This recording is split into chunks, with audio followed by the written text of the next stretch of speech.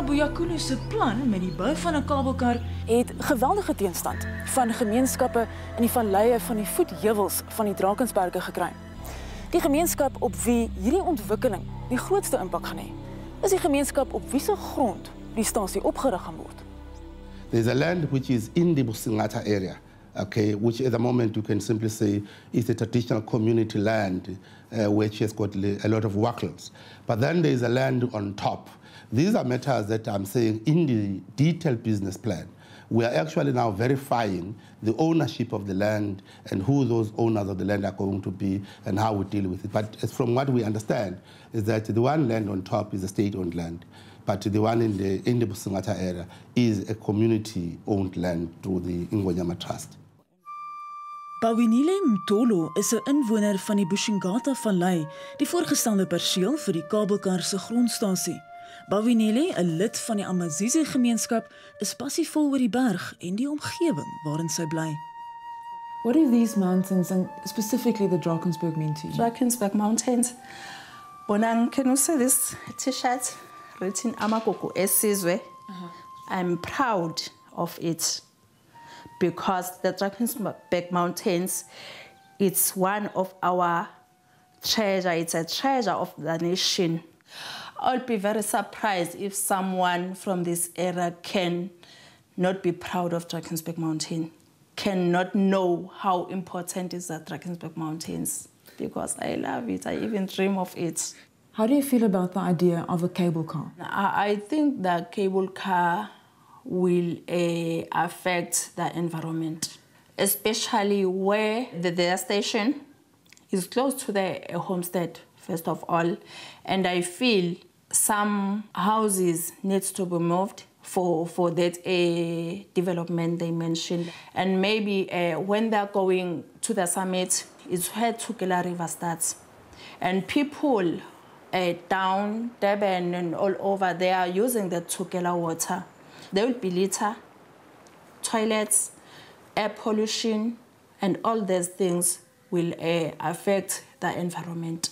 There are some houses pretty close to the proposed site, and some community members express their concern, concern that they now have to be relocated. Is, is that a possibility? It, it probably is. Uh, uh, it, it's possible that the developers of the cableway might want to utilize some of the land that is currently occupied by, by community members in the valley, in which case, of course, there would be a negotiation and, and full and generous compensation. A development of this nature need full community support. In, in the feasibility study that, you, that you've done, what were your findings regarding community support? We, we, we have found overwhelming support. Uh, the, the, we, we have engaged with the community on um, a number of occasions over, over a year. Um, there has been great excitement uh, and, and enthusiastic support by and large. I, I must also emphasize that the Busangata Valley, where the, where the cable way is going to be built, is currently not a tourism valley.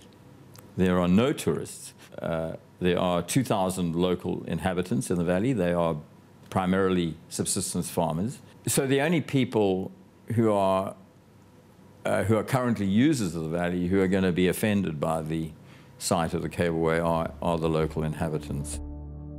Om ons 'n idee te gee van hoe die res van die gemeenskap oor die kabelkar voel, het Bawinile ons voorgestel aan 'n groep leiers wat die Amazizi stam verteenwoordig.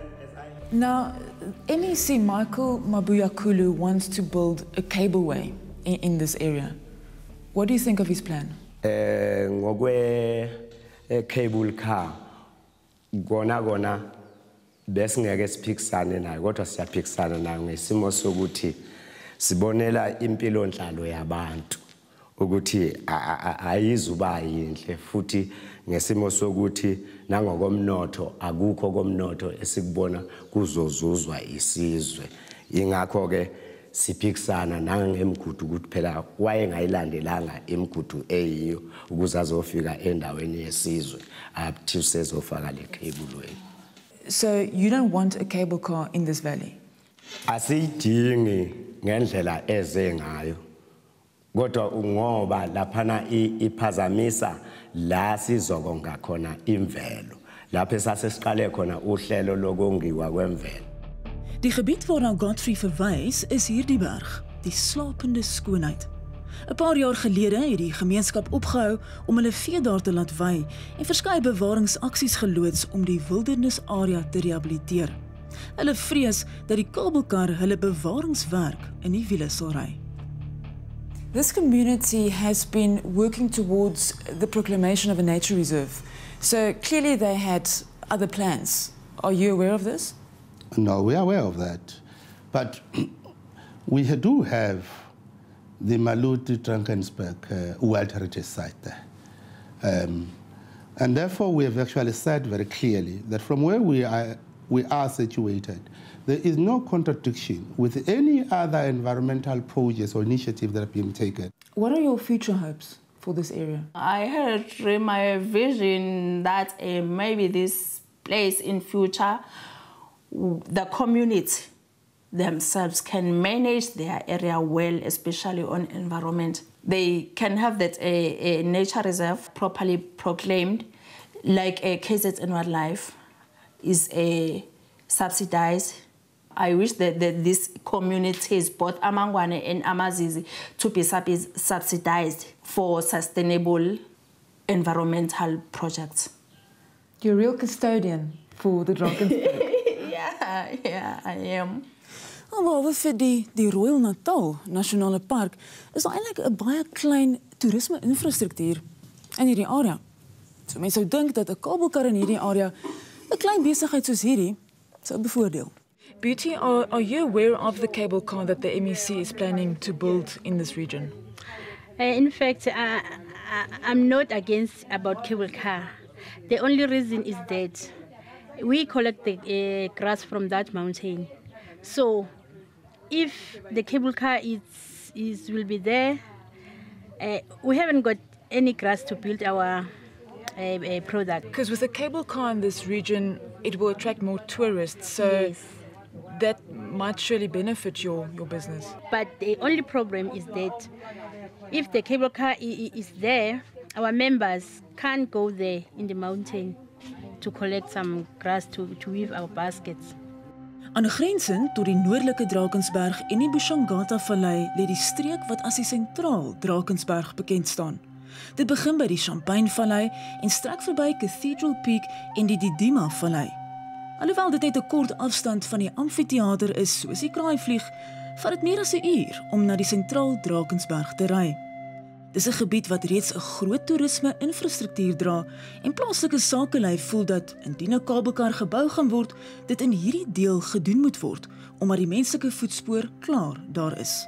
Ons het 'n ontmoeting met sakelei in die Champagne Vallei gereël om uit te vind wat hulle van die kabelkar dink. In die sentrale berg kan ons doen met 'n addisionele punt wat fokus sal lok na na hierdie gebiede dink ek. Hier is reeds die infrastruktuur soos almal nou klaar sê, hier's klaar die hotelle, hier's klaar die paaie.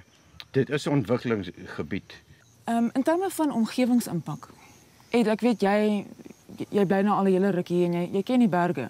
Mens het natuurlik 'n sekere voorbehoude met met met so met so projek want dit gaan natuurlik 'n impak hê op die berg en op die op die besoekers. Die die die probleem is die gevaar dat mense te maklik op die berg gaan kom wat nie normaalweg daar sou gekom het nie.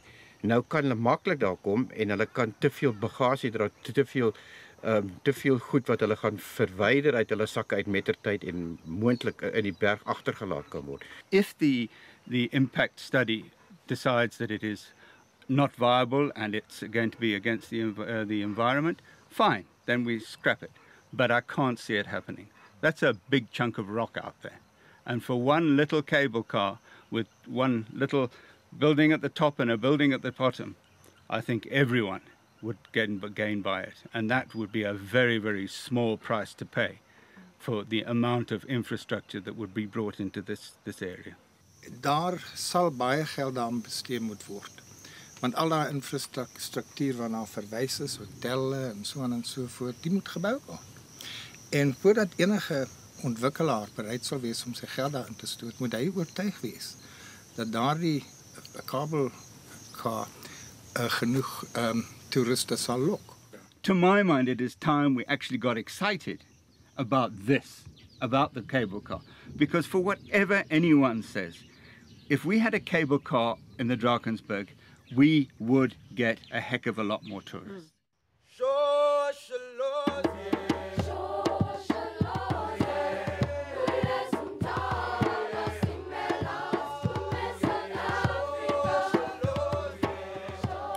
Die Drakensberg behoort aan alle Suid-Afrikaners en daar moet oorweging geskenk word om meer mense toegang na daardie majestueuse pieke te gee.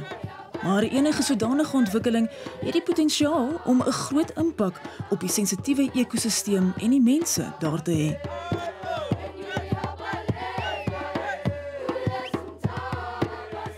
Soos die idee van 'n kabelkar in die Drakensberg momentum kry, kan mens net hoop dat alle prosesse noukeurig gevolg sal word en slegs die beste navorsingsspanne gebruik sal word. MEC, what is the next step? We are in the process of uh, finalizing the business plan.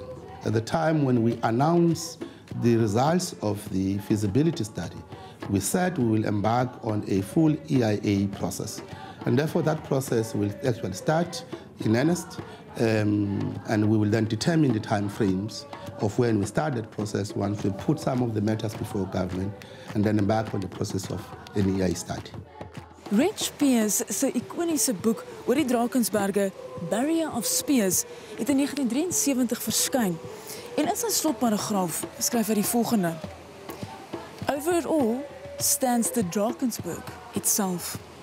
Timeless, aloof, inscrutable, but with a wild beauty of its own that tugs at the heartstrings. It is a world of indescribable and ever-changing splendor a world of basalt giants that stand as sentinels on the roof of South Africa. A world of unspoiled nature. Unspoiled nature.